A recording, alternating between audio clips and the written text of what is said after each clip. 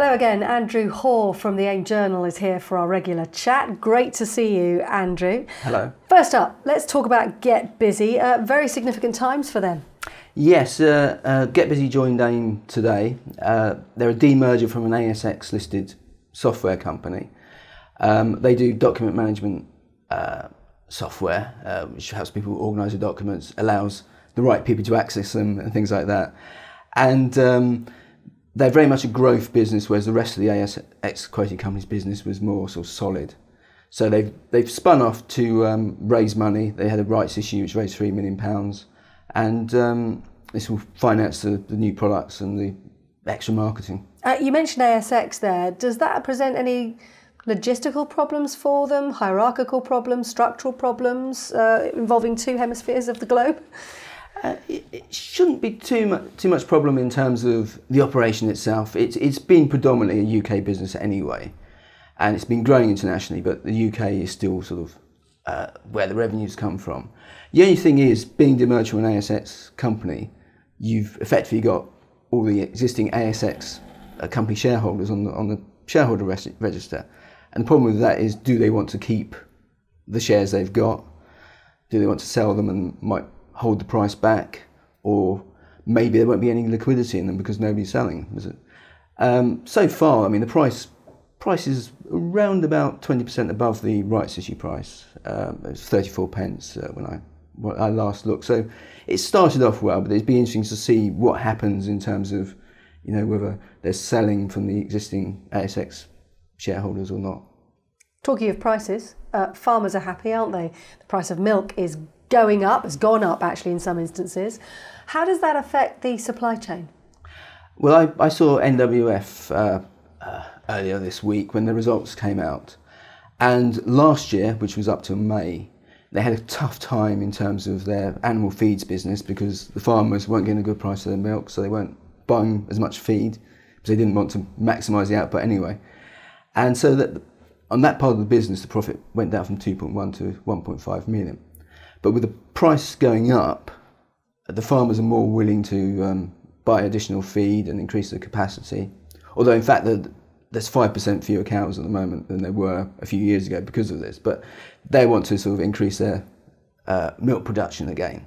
And the thing about NWF is they're benefiting from that. They've also invested in their, their mills for the feed. So they've got an efficient business with uh, extra capacity to take advantage of And this. what about the rest of the NWF group? How are the other divisions faring?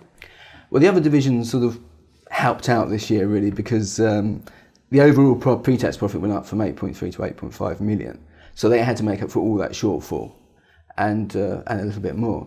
And the, the food distribution business is, is doing well. They've got a big um, warehouse in Wardle in uh, uh, the northwest and they supply all the uh, the major supermarkets for their food industry clients. They've lost one client because they're going to be doing it themselves. They had spare warehouse space, but generally they've been very good at when they've lost a client. They've managed to find other ones to fill up that space, so they should continue to do well there. And the fuel side, the fuel distribution side, they started up a couple of uh, new distribution sites from scratch, and they said that they did better than they expected. They lost less money. So this year, losses should go down from those and maybe move into profit. Right, let's talk acquisitions. Let's talk Keywords. They've made some important buys recently, haven't they? Uh, just how important is it, this group, of course, in the video services technical uh, support industry, uh, just how important is, is it for them to, uh, to consolidate this very highly fragmented market? Well, I mean, they are they've already well down the road in terms of consolidation there. And what's particularly important is they're buying in China, they're buying in uh, Latin America, they're buying various parts of um, Europe. So they're strong not just in certain countries, they're strong in, in, all the main markets they need to be strong in. And today they made another a couple of uh, smallish acquisitions compared to the size of the company now, but quite important. They're in France, and they've already got a business in France. They're going to sort of consolidate all that, invest in uh, facilities, and then sort of they, they have probably the strongest position in the French market in in the sort of localization area. Lots of people commenting they look very healthy today. How has their share price fared since they floated? was it four years ago?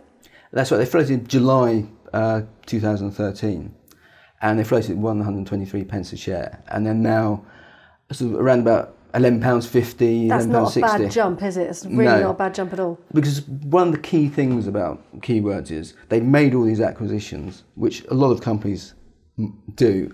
But what they've done is they've made them and they've been earnings enhancing. They've been three or four up, uh, profit upgrades just this year. Whereas you find a lot of companies which are acquisitive, they buy things, lots of revenues, and they don't really increase their profits as much. So this is, they've shown the way to be, to do this kind of consolidation. Let's talk about another acquisition, uh, AdEPT Telecoms. They've announced an acquisition this week. Tell us about that. Yeah, AdEPT uh, uh, uh, provides sort of telecoms and IT services. They've been moving more into managed services. But they used to be sort of basic, giving people, selling people airtime and that sort of thing. But they moved into managed services. And uh, this week they bought this uh, business uh, based in London, which um, uh, does the IT for schools and local authorities, particularly schools.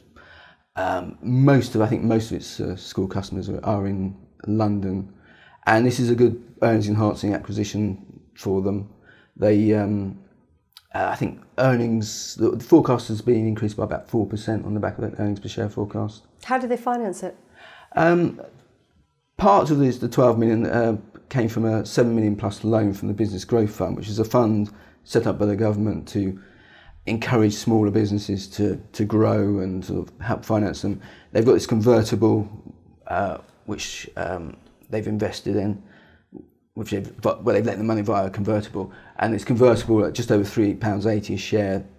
The current share price is £3.30, so it's still a way to go. Andrew Hore, good to get our regular update. Thanks very much indeed. Thanks.